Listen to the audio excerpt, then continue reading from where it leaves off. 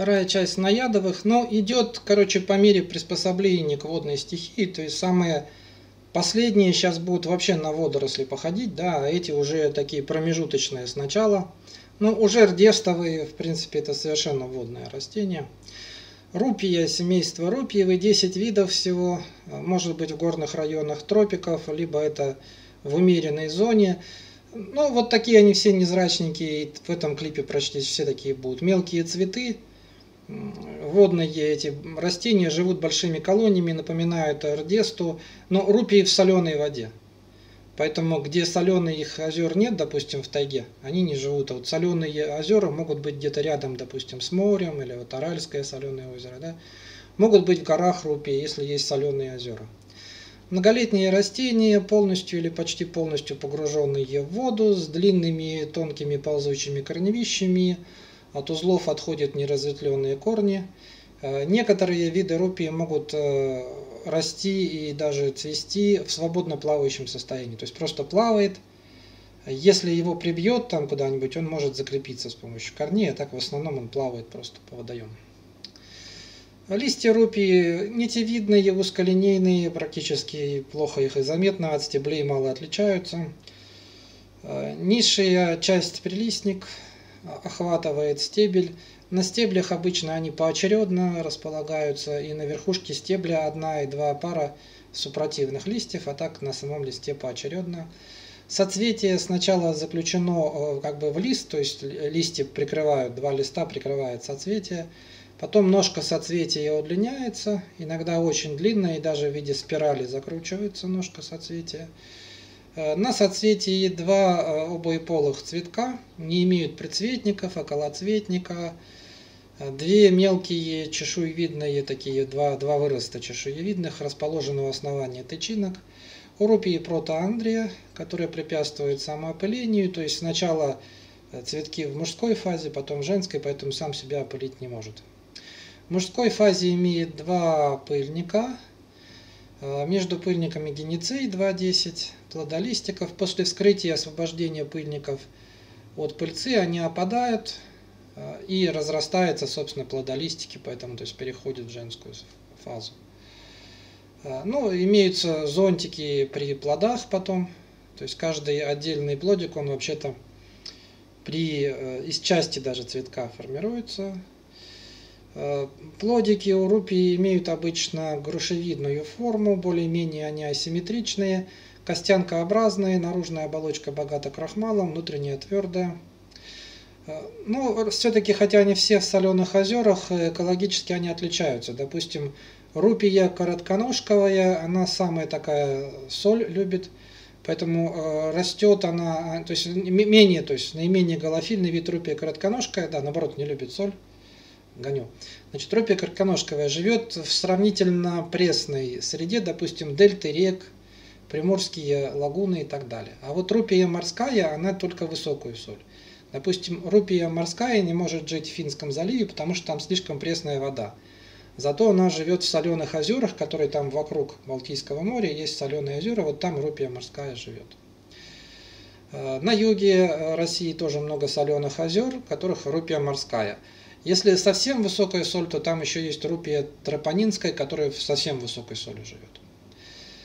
А, бывают еще э, в соленой тоже воде виды с длинными и ножками соцветий, которые в спирали загнутые, допустим, рупия усиконосная, рупия западная и так далее. А, эти э, галофильные виды, которые любят соль, они также обычно имеют толстые корневища и на большую глубину могут заселиться. Э, рупия, э, в принципе, если она цветки над водой вытягивает, что не всегда у нее бывает, то может ветер опылять, но нормально для нее уже водное опыление. То есть это уже совсем приспособленное к воде растение, которое в воде же и опыляется. Пыльцевые зерна свободно плавают в воде, постепенно поднимаются к поверхности воды, и там они сталкиваются с цветками, которые в женской фазе, и, соответственно, их оплодотворяют. Э, рупия морская обычно в воде осуществляет, а те, которые в совсем соленой воде, вот про которые я говорил, то на поверхности, потому что э, пыльцевые зерна, они в соленой воде быстро на поверхность поднимаются, и там на поверхности цветки, которые они опыляют. Это поэтому получается, что у него цветок сверху, а само растение все равно внизу. Э, ну, имеются длинные ножки соцветий, и они позволяют реагировать на изменения глубины водоемов, то что там приливы, отливы, чтобы держать именно на поверхности. Кроме того, они вращают эти женские цветки, что увеличивает возможность контакта с пыльцой. Э, плоды рупии могут распространять рыбы и птицы, которые едят этот крахмал.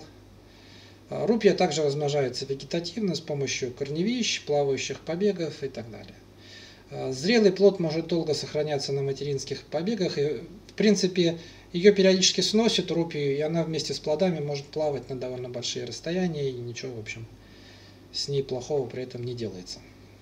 Э, дзеникелевые, всего 15 видов, высокоспециализированные водные растения, э, пресные слоноватые водоемы, ну, более-менее северные, допустим, в тайге это не водится. Э, ну, допустим, дзеникелия род, он есть в России, просто в такой сравнительно теплой. Потом есть редкие австралийские, лепелена, псевдоальтения и альтения. Альтения, она, в общем-то, западное Средиземноморье, но также обнаружили немножко, что в Ростовской области тоже это альтения есть, и в Турции тоже есть. Альтения скорее испанское растение. А, ну и в целом они, в общем, невзрачные, вот эти дзеникелевые. Вот даже их там на вид трудно от той же рупии и прочих этих водных растений отличить. Это полностью погруженные в воду растения, прикреплены к дну водоему с помощью тонких ползучих корневищ. Большинство их видов многолетние. В пересыхающих водоемах могут быть однолетними. Псевдольтения ашерсоном, допустим, вообще только в пересыхающих водоемах э, живет, и поэтому она однолетник, потому что пересыхает и она отмирает. Альтения ашерсоном. Э, ну, э, даже трудно и по корневищу определить, что это за никелия, потому что походит на всевозможные другие стелющиеся по дну вот эти стебли. Сильно разветвленные тонкие гибкие стебли дзаникелевых несут э, узколинейные, тоже нитевидные сидячие листья с одной жилкой, которые располагаются очередно, супротивно в ложных мутовках. У основания имеют свободные охватывающие стебель прилистники – у дзаникелиевых однополые сильно редуцированные цветки, расположены в узлах стебля, принадлежат к разным а, полам, причем они достаточно так сильно редуцированы. У мужских цветков одна тычинка. А, с пыльники где-то имеют от 2 до 8 гнезд. Женский цветок тоже от 1 до 9 плодолистиков, окруженных, окружены чешевидным покрывалом. Э, вот. Ну и при этом, значит, они как бы самостоятельные побеги имеют, причем э, мужской цветок обычно на пазушном боковом побеге, а женский цветок на главном побеге находится. Э, Псевдольтения тоже похожие на дзаникелию. У нее женские цветки состоят из одного плодолистика, окруженного околоцветником по типу покрывала. То есть, в принципе, они там маленькие, даже незаметны, ни, ни тех, ни других, в общем-то говоря, очень мелкие они. А, плоды дзаникелевых состоят из костянок с одним семенем. Основание разрастается, образует а, довольно длинную ножку. А, ну и есть различные гипотезы, почему, собственно, практически редуцированы цветки Э, и это обсуждается. Ну и даже иногда отдельные плодолистики женских цветков считают отдельными цветками. То есть там даже границы цветка непонятны из-за того, что он очень упрощенный. Где там один цветок, где другой. Э, тоже, в общем, соленые, но есть пресные виды. Допустим, дзаникелия болотная, она в пресной воде. Э, дзаникелия длинноножковая, приморские лагуны, соленые озера. А альтения нитевидная только в очень соленых озерах. Причем есть, короче, корреляция, чем более соленая вода в водоеме, тем длиннее ножки у этих плодов, тем длиннее столбики. Видимо, вот это связано с особенностями опыления в соленой воде. Шаровидная пыльца, опять же, она тяжелее воды, опускается на дно. Некоторая при этом попадает на женские цветки. При вот этом водном опылении расход все-таки пыльцы большой, надо, чтобы попала она, там, а вода может унести куда угодно. Но а, почему значит, решается эта проблема дзаникелевые, поэтому растут большими колониями. То есть они вместе растут в большом количестве, образуют очень-очень много цветков. В результате получается такое скопление цветков и большей вероятности, что вода занесет тут же пыльцу на какой-нибудь соседний цветок, и там будет оплодотворение. Э, самопыление у них не приветствуется, в частности мужские цветки раньше развиваются, и альтения вообще двудомная. Плоды падают на дно обычно, но могут переноситься водными потоками. Э, также, вот, как и для рупии, характерно, что отрывает вода кусок этой дзаникели и переносит. Ну и вот также вместе с куском растения она переносит и плоды. Цимодоцеевые 15 видов, близкие к дзаникелиевым, даже иногда объединяются. Но цимодоцеевые, они вообще только в морях и океанах. Дзаникелиевые могут в пресной воде или в соленой воде, там в озере. Цинодоцеевые это уже морские травы. И вот поэтому они уже совсем считаются приспособленными, потому что в море это там хуже. И по внешнему виду напоминают скорее водоросли. Хотя цветки у них тоже есть, это цветковое растение – распространены в основном в тропиках, цветки мелкие и незаметные, и там на, на взгляд вообще от водорослей это не отличишь, если не ботаник это смотрит. Ну, можно отметить самодоцея узловатая, на побережье Средиземного моря может быть. В южном полушарии такой есть амфиболис антарктический, в Южной Австралии может быть, и, собственно, да, в Антарктиде там примыкать. Но в основном, конечно, в тропиках. Э, цимодоцеевые, полностью погруженные в воду многолетние растения с хорошо развитыми ползучими корневищами, э, отдельные линейные листья снабжены на верхушках, э, сближенные на верхушках корневища, там прямостоящих побегов. Ну и таласодендрон сюда тоже относится. Таласодендрон из них самый, короче, приспособленный.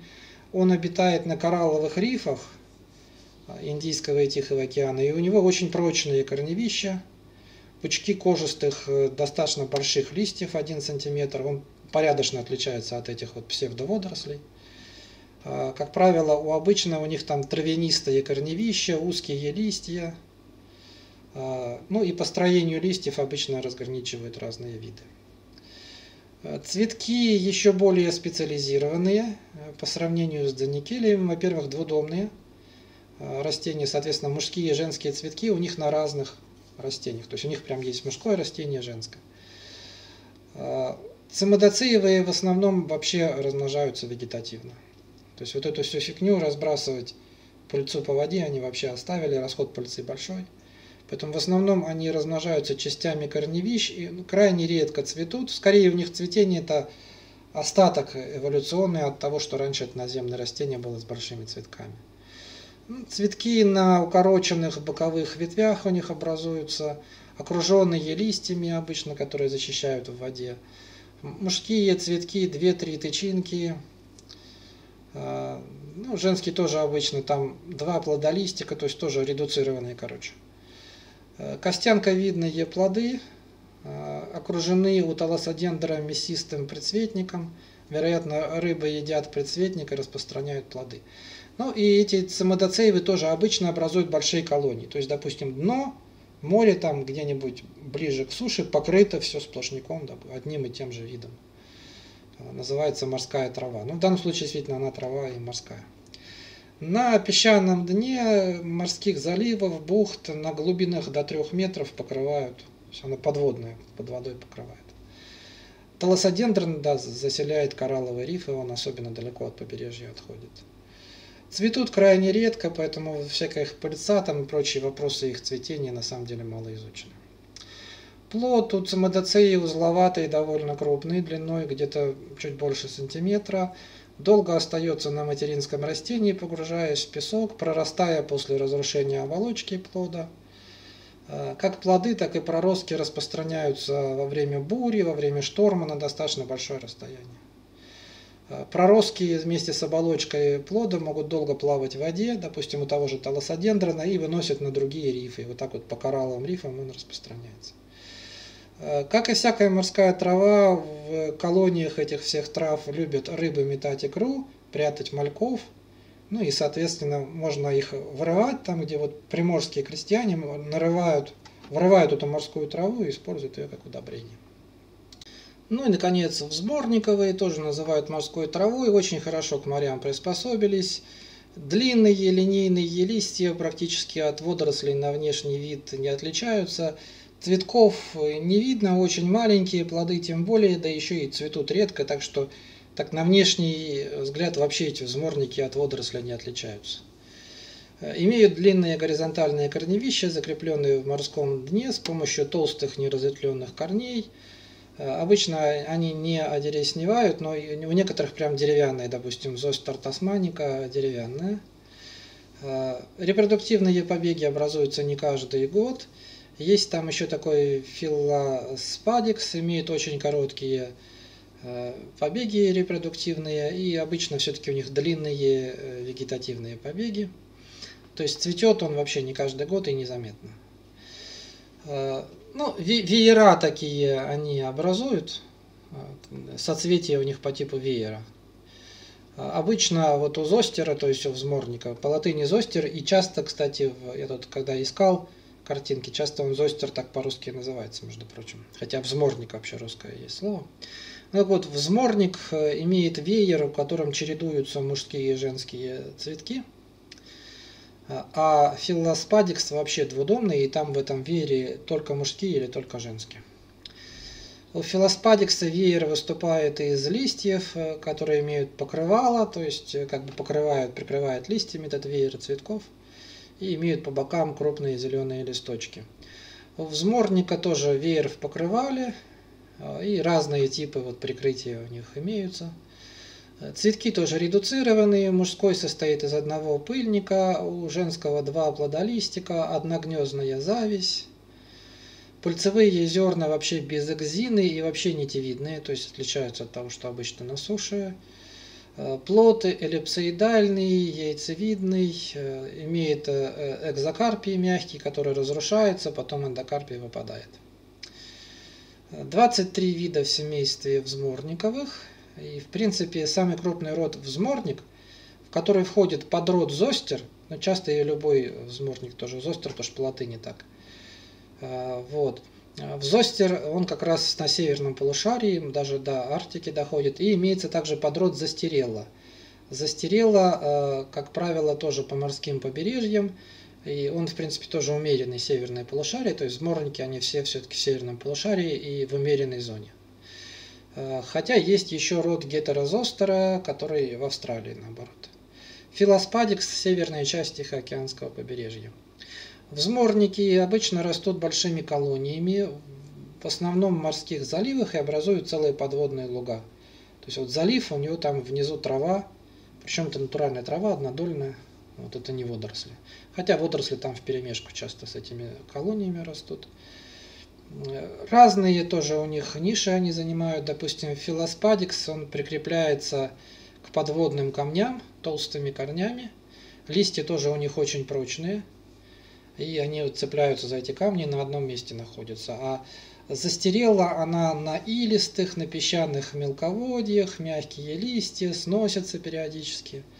Самый глубоководный взморник азиатский имеет самые широкие и большие листья, полтора сантиметра. Так как там у него света уже мало, поэтому он листья увеличивает. А, перекрестное опыление у взморниковых, причем филоспадикс двудомный, а взморник он однодомный, но протогеничный. Пыльца переносится водой, почему вот нитевидные пыльцевые зерна тоже вот способствуют переносу водой более эффективному опылению. Гибкие, они э, пыльца в виде Э, такой ниточки, она может даже закручиваться вокруг этих рылиц, то есть закручивается вокруг женских цветков, что позволяет на воде держаться. То есть проблема то, что вода быстро все распространяет, но она сносит эту пыльцу, поэтому если она будет всю пыльцу сносить, то бессмысленно это все будет, вот поэтому они сделали как ниточки, которые цепляются за женские цветки. А, обычное опыление у них вообще под водой, на мелководьях могут они опыляться на поверхности воды. Тогда на поверхность высовывают рыльца, высовывают эту Э, пыльцу, она плывет по поверхности моря и попадает на рыльце. Плоды взморниковых разносятся морскими течениями и часто обламывается полностью соцветие с плодом и несется куда-нибудь вообще далеко. Э, выносит э, на Дальний Восток, в Тихом океане, выносит прямо на берег, и есть эти соцветия лежат. Это, но они маленькие, незаметно, что соцветия. Кроме того, он эффективно размножается вегетативно с помощью корневищ, Взморниковые могут там использоваться населением приморских районов, например, для набивки матрасов, мягкой мебели, упаковочный материал, ну, примерно как водоросли, да, трава просто, да. А, можно, в принципе, использовать их как удобрение для полей. Море в большом количестве выбрасывает эту траву, и они на берег... лежат на берегах, и, в принципе, там есть органика, и можно удобрять этим поля. А, говорят, одно из племен мексиканских индейцев даже ело взморник, но, в общем, не рекомендуется и вообще-то несъедобное. Поседониевые, а, семейство поседониевых, единственный род поседония, тоже, значит, морская трава, и полностью вообще в океане имеется. Значит, Поседония океанская, э, в Атлантическом океане и вдоль побережья Средиземного моря. Поседония южная – это Тихий океан, Австралия и Тасмания. Поседонии тоже растут большими колониями, образуют целые луга, ну, иногда в перемешку с другой вот похожей же травой. Э, на глубинах до 50 метров может Поседония покрыть все лугом. Полностью погруженные в воду многолетние растения с толстым ползучим корневищем а, имеют вегетативные побеги двух типов. В центре колонии прямостоящие побеги, а на периферии стелющиеся. Два типа побега. А, листья широколинейные, в длину до 50 см и в ширину порядка сантиметра. А, длина определяется глубиной произрастания. Чем глубже, тем длиннее листья, потому что туда свет хуже падает, поэтому они вынуждены растения делать листья побольше, в данном случае подлиннее. Имеется пластинка с параллельными э, жилками в этих листьях. Цветки собраны в колосья, расположены на цветоносах до 30 см, которые выходят из верхушек укороченных побегов или прямо из пазух листьев – сложный колос состоит из двух-четырех колосков. Колоски состоят из двух, трех, четырех цветков. Два нижних цветка обоеполые и верхние мужские цветки. Ну, что позволяет, в принципе, опыляться с одного колоска, да, то есть верхние мужские разбрасывают пыльцу, падают на нижние. Там главное, чтобы цветок сам себя не опылял, а так в соцветии можно. А околоцветник состоит из трех чешуек, в обоеполых цветках э, от трех до четырех тычинок. А геницей состоит из одного плодолистика с единственным семизачатком. Плодолистик на верхушке суживается, заканчивается лопастным диском. В мужских цветках три тычинки. Из плодолистика формируется костянковидный плод с мясистым околоплодником, примерно как маслина из сухопутных растений. Опыление в воде – тоже нитевидные пульцевые зерна, вот именно с целью, чтобы они попали на рыльца. Протоандрия, плоды э, делает, падают э, в воду, плавают в воде, постепенно разрушается околоплодник, то есть околоплодник какое-то время защищает, чтобы оно плавало и подальше, чтобы отплыло, чтобы рядом они родственные не росли, потом падает на дно, прорастает. Вероятно, также ест рыба и таким способом разносит. Э, крайне редко цветет, на самом деле все эти плоды и цветки редко бывают. В основном размножаются вегетативно, то есть вода разносит какие-то куски корня, куски отломившиеся веточки, и потом из веточки полностью новые растения вырастает. Тоже листья выбрасываются на берег в большом количестве и взморника. То есть вот эта морская трава, ее выбрасывать на берег. Вот особенно океан Тихий, где ее много. Можно использовать как упаковочный материал. В Африке для покрытия крыш. В Австралии делали из нее ткани. Ну, конечно, это все было, когда там были дикие люди, и больше делать было не из чего, кроме как из травы, которую выбрасывает море. Ну и, наконец, семейство наядовое, по которому весь порядок. Слово красивая наяда, но сама вот эта наяда выглядит опять как трава просто. Ничего там, никаких красивых цветков, ничего нет.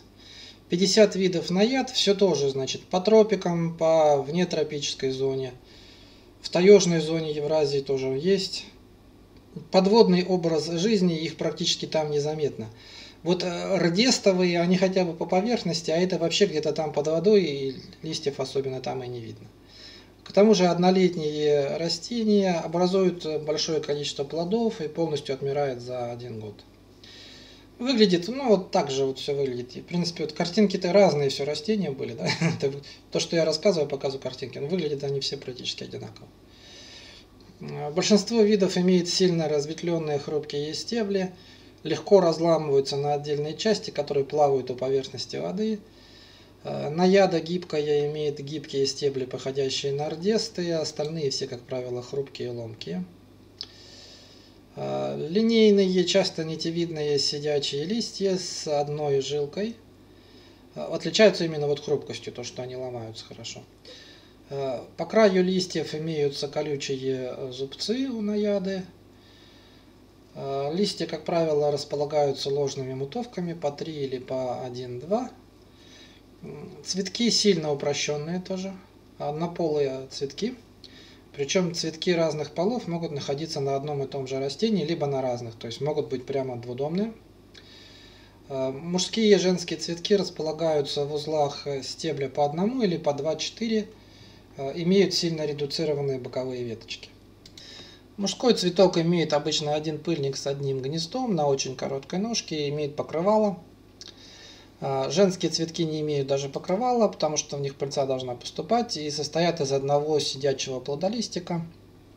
Верхняя часть э, заканчивается двумя, тремя, четырьмя рыльцами. Ну, э, часто имеется у них еще внешнее покрывало бутылковидной формы. Ну, тоже, как правило, при мужских цветках оно. А, плоды на яд не раскрываются, односеменные, с тонким мясистым околоплодником. Форма довольно разная может быть. И по, как раз по форме плода, по, и, такой, как по устройству, там, по рисунку различают разные виды наядов. Большинство наяд это пресноводные водоемы, но есть и наяда морская. Она в солоноватых водоемах, обычно приморские лагуны, соленые озера – Некоторые виды растут в пересыхающих водоемах, допустим, наяда злаковидная, э, разрастается на рисовых полях, э, которые периодически там вода то заливает, то нет, и является сорняком. Э, в Бирме тоже наяда является сорняком на рисовых полях, в теплых водоемах зарастание ее имеется. Но многие наяды в Красной книге являются редкими. Цветки опыляются под водой, созревает пыльца, ножка мужского цветка удлиняется, выносит пыльник из покрывала. То есть пока созревает пыльца закрыта покрывалом, потом, когда надо пыльцу сбросить, высовывает из покрывала, губы этого колоцветника расходятся, пыльник открывается отверстиями, пыльца выходит в воду, шаровидная пыльца, почти не имеет экзины, то есть наружной оболочки. Уже во время выхода в воду из пыльника они начинают прорастать, даже еще, короче, никуда не попали – образуют сразу пыльцевую трубочку, и поэтому, когда они попадают, если на рыльце эм, женского цветка, то они сразу уже проросли, уже, чтобы сразу зацепилось, сразу прорастало. Э, плоды обычно у них распространяются водными потоками. Ну и вот то, что у них ломаются стебли, на самом деле способствует, потому что вместе с плодами части растений распространяются. И, обломать стебель, потом оно куда-нибудь поплыло, плод там на нем и так далее и дальше все распространилось. Ну и, вероятно, с помощью рыб и водоплавающих птиц тоже это все распространяется.